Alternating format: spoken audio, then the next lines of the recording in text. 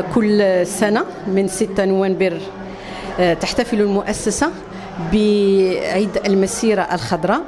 والمسيرة الخضراء مصطلح آه، يطلق على مظاهرة سلمية نظمها الراحل الملك الحسن الثاني آه، سنة 1975 احتجاجا على الاحتلال الإسباني للأقاليم الجنوبية في الصحراء المغربية.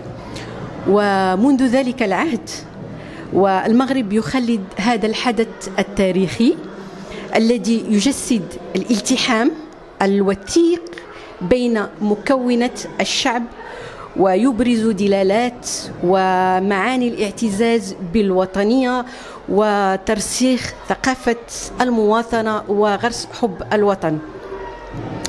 كل 6 نوفمبر مؤسسة أبو بكر بن العربي آه، تنظم مسيرة مصغرة مع أطفالها مع تلامذتها وكما تخصص أيضا حيزا زمنيا داخل الفصول التاريخية لتذكير التلاميذ بهذا الحدث العظيم هذا الحدث التاريخي ولتذكير بأهميته ودلالته لنغرس في نفوس نشيئتنا حب الوطنية والقيم الوطنية. اليوم نحتفل بالذكرى الثامنة والأربعون من المسير من ذكرى المسيرة الخضراء المضفرة.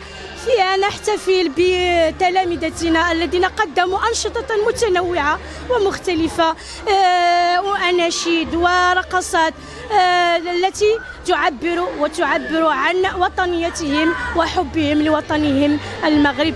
آه، الله يحفظه ويرعاه دائما يا رب آمين. السلام عليكم ورحمة الله تعالى وبركاته. أنا تلميذة آية الناجي مستوى أولى إعدادي من مدرسة أبي بكر بن العربي. اليوم المدرسة آه، احتفلنا بذكرى المسيرة الخضراء. وإحنا جد سعداء. ودائما بشعار الله الوطن الملك.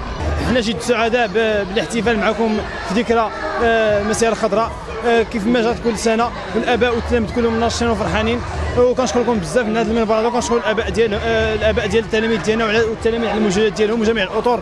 التربويه في المؤسسة وكذلك الأطر الإدارية. وشكرا كنشكركم بزاف على هذا على هذا التغطية هذه. وشكرا. السلام عليكم. معكم آه، تلميذة بسمه وزي من مؤسسة ابن بكر بن العربي. تلميذة من ثالثة إعدادي. اليوم كنحتفلوا بذكرى المسيرة الخضراء مع بعد الشكر خاص على التغطية الإعلامية.